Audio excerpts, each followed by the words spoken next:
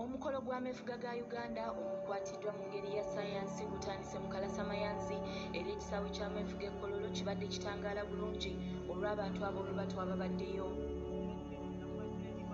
Nga wayisa akaseera katono ng'atuuse pulezidenti agenza okubaawo nga bawanika bendera ya uganda.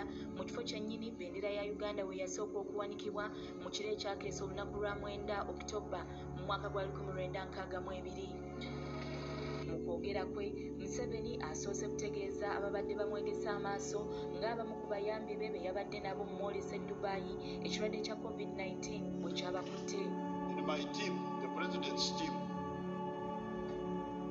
we came back with three coronas, three corona infections.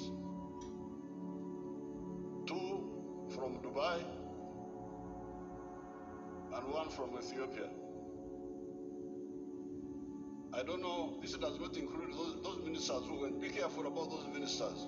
wano wasinzidde n'alabula bannayuganda okukomya okwenjeera ebweru kuba basombera abasaalumanya ekirwadde Avoid all these unnecessary troubles. kimanyi kyemulonda kyemunoonya eyo abanayuganda gye batera okwenjeera minimize those troubles you don't have to travel